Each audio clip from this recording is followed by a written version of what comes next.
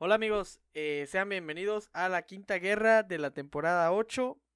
Sí, ni más ni menos que Sensu contra Marvel Notorious Gamers de nuevo.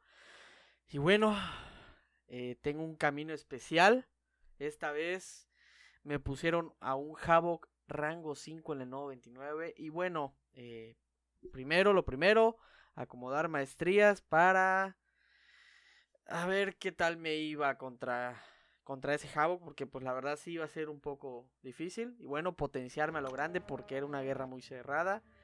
Íbamos ganando en, en ese entonces pero luego uf, hubo una cambió todo pero pues bueno ya veremos luego. En el primer nodo tenemos a una Magic. Ya saben primero esperaba que use el primer poder. Ya no estoy cometiendo esos errores como en las primeras guerras y pues desafortunadamente pues me activó Limbo al comienzo de la pelea, pero pues como estaba bien potenciado, nada más perdí 5% de vida. Aparte se ve que es una Magic, creo que rango 4. Entonces no hubo ningún problema, tengo ventaja de clase. Y bueno, cayó muy rápido. Eh, tenemos el siguiente nodo. En el siguiente nodo tenemos el nodo 16. Es un, es un hábil. Aquí acostumbran a poner mucho a Blade. Entonces dije, ah, pues ya he peleado a Blade contra ese nodo en otras guerras y usando a Quake. Entonces dije, ah, no voy a tener ningún, problema.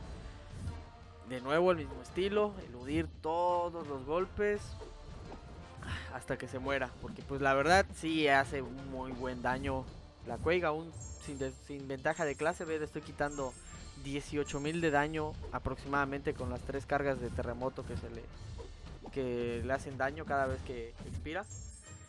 Y así me la llevé, ya saben, tratar, estaba yo tratando de que no perdiera nada de vida, eh, porque pues posiblemente iba yo a usar a Quake eh, en otros nodos.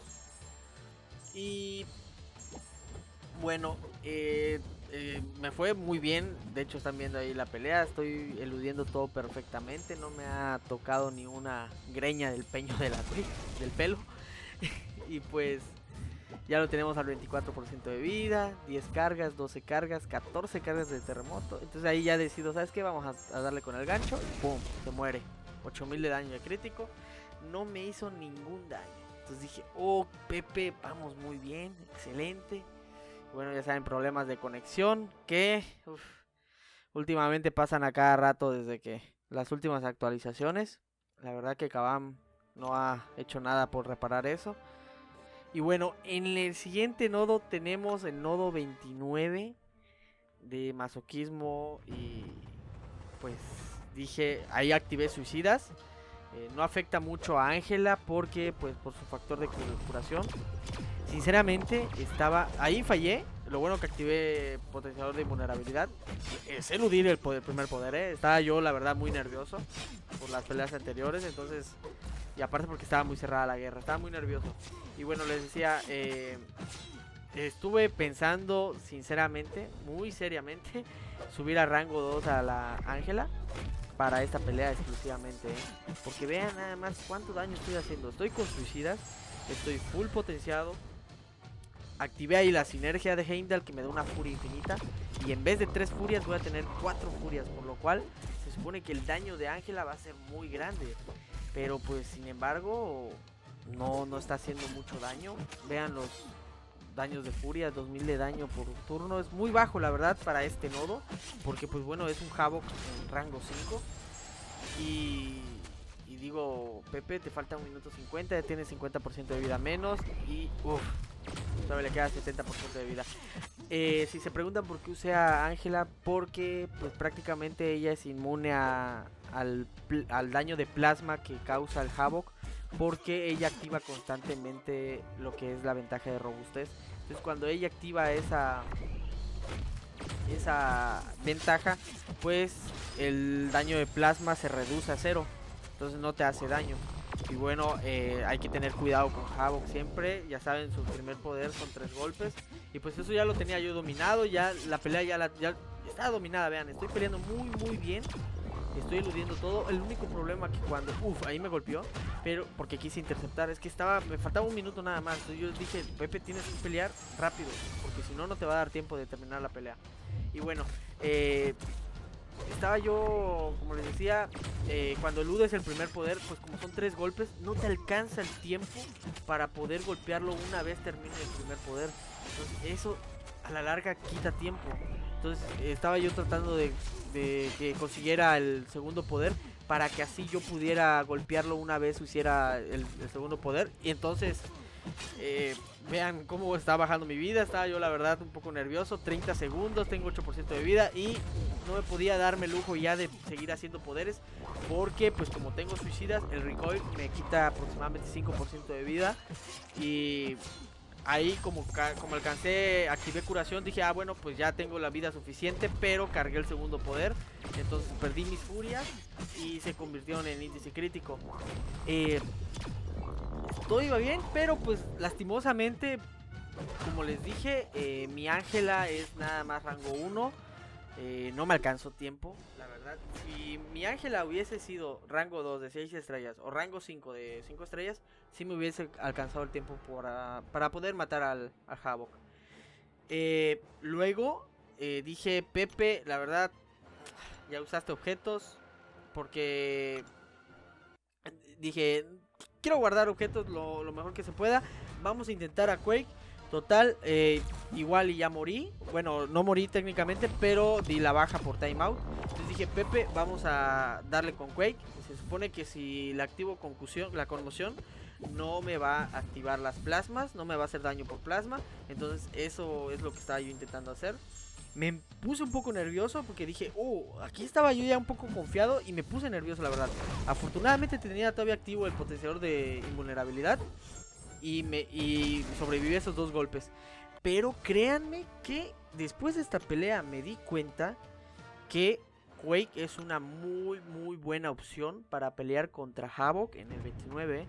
Así que espero y los próximos enemigos que nos toquen eh, me lo vuelvan a poner porque quiero seguir practicando, ¿eh?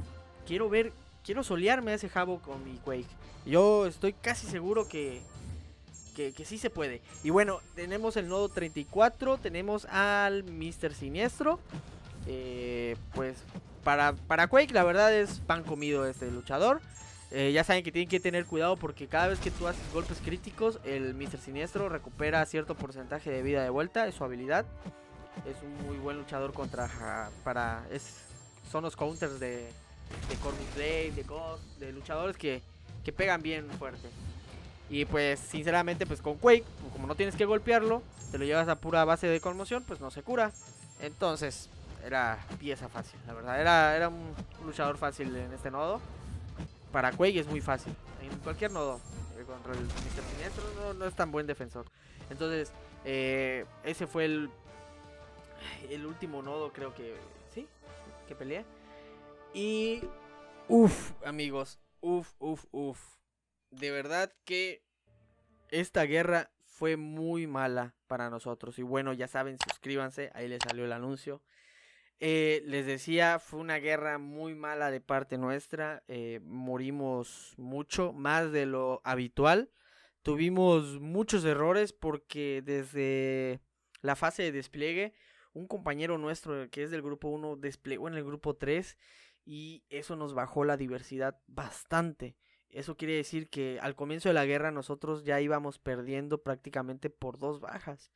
Y sabíamos que íbamos contra una alianza muy fuerte, eh, una alianza top, y dijimos, güey, eh, empezando con esta desventaja desde ya, como que está muy difícil ganar. Pero afortunadamente nuestra defensa hizo de las suyas y pudo derrotar a esta alianza top, Marvel Notorious Gamer. Eh, sin duda eh, lo hicieron muy bien. Eh, no, sinceramente nosotros ya no esperábamos ganar esta guerra porque, como les mencioné, habíamos muerto más veces de lo habitual. Llevaba, creo que terminamos la guerra con 14 muertes, creo, ah, en total. Y dijimos, vaya, en ese entonces, cuando ya habíamos terminado, limpiado todo el mapa, Marvel Notorious llevaba como 9 bajas entonces, de las cuales las nueve, una no contaba porque habían muerto cuatro veces con una mole. Entonces, eh, dije, dijimos todos los de los miembros de la alianza que pues prácticamente ya estaba perdida la guerra, pero oh vaya sorpresa, nuestra defensa hizo de lo suyo y pudimos dar la vuelta. Así que muchas felicidades a todos mis compañeros de Sensu, eh, alias Kenobi. Eh, lo hicimos muy bien, a pesar de todos los errores que, hicimos, que cometimos. Y pues felicidades a McFly, a Tomo y a Crazy. Otra vez Tomo y otra vez Crazy. Eh, McFly y Crazy son del grupo 1 y Tomo, ay, creo, se me olvida de dónde es. Creo que es del grupo 2 o 3. Ah, uno de esos dos grupos. Y bueno, muchas felicidades. Gracias por ver el video, amigos. Eh, ya saben, si les gustó, eh, dejen su like. Si no se han suscrito, suscríbanse. Píquenle al botón de la campanita para que les avise eh, YouTube cuando subo video. Porque ya saben cómo es YouTube. sus condiciones. y bueno, pues fue todo por mi parte, amigos. Espero que les haya gustado. Y de nuevo les repito, si les gustó el video, dejen su, dejen su like, porfa. Eso ayuda mucho. Y sale. Eh, nos vemos en el siguiente video. Bye.